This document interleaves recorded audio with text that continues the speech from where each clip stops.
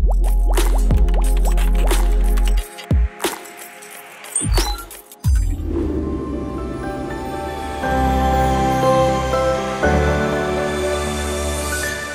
we are with a very well-known industry leader, Mr. Sridhar Vembu, CEO of Zoho. Thank you for having us. Thank you for having me. Greetings. Namaste. Very happy to be here in Riyadh and talking to you. How's your day going so far at Leap? Really good. This Leap uh, event has been big for us. Uh, Saudi Arabia has been already a fastest growing part of our the market for us. And with the data center announcement and we have opened here uh, Zoho.sa, we are seeing even more renewed interest. So we are very excited to be here. So Zoho is in the market. It's a huge success since uh, last 23 years. So reflecting on this uh, successful journey, can you share with our audience some of your most uh, major thing that is very close to your heart? So the big thing about our the way that we have grown is completely bootstrapped. We never took outside investment. But even more important, we have been able to nurture talent, create and nurture talent. People like Hyther, who heads our whole Middle East operation, he has been with us like 26 years now. And I'm very happy, very proud of that fact. And we have so many people like him and who have made it their home to be in Zoho. It's an extended family. That's the most special part of being Zoho. So what are some of the most innovative uh, solutions that Zoho is planning to introduce in UAE or KSA market? So, first our uh, contextual intelligence, CI we call it, and ZIA, our Zoho Intelligent Agent, the contextual intelligence vision is about bringing your business data, train the models, but deploy it only for your business, and no nobody else will get it. That way, there is no possibility of leak of that confidential data. The second is applying AI solutions to accelerate custom software customization and development for specific line of business, verticalized applications. That's where we are investing heavily and we are very excited about that.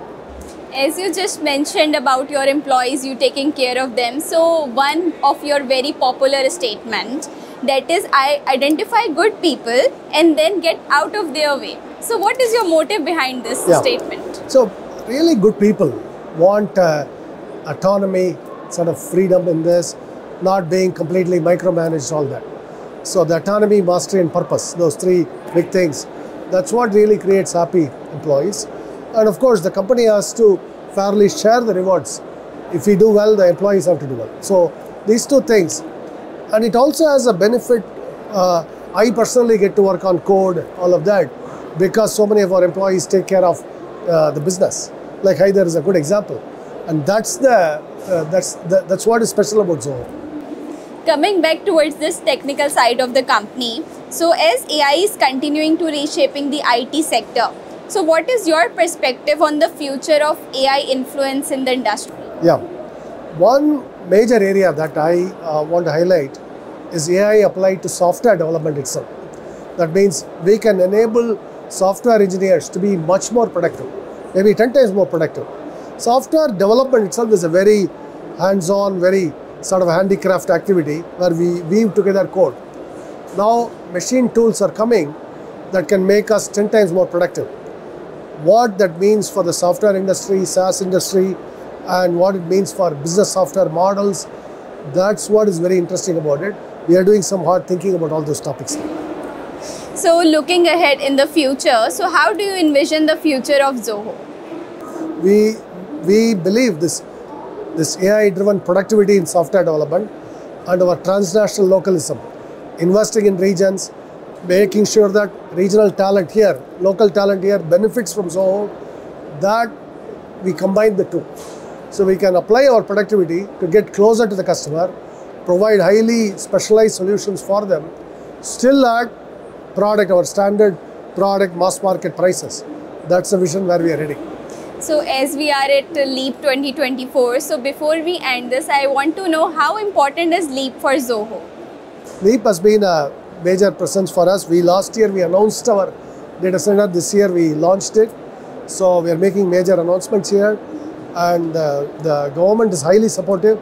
I want to place on record how uh, important the, our relationship with the government has been, and we are enabling local businesses to transform digitally. Last year we issued like more than 5 million Saudi Riyal credit. All of them became customers this year. So we are expanding the program to get businesses onboarded quickly. So it's very exciting market. That's very interesting. Thank you so much Thank for you. giving your time to us. Thank you. Thank you.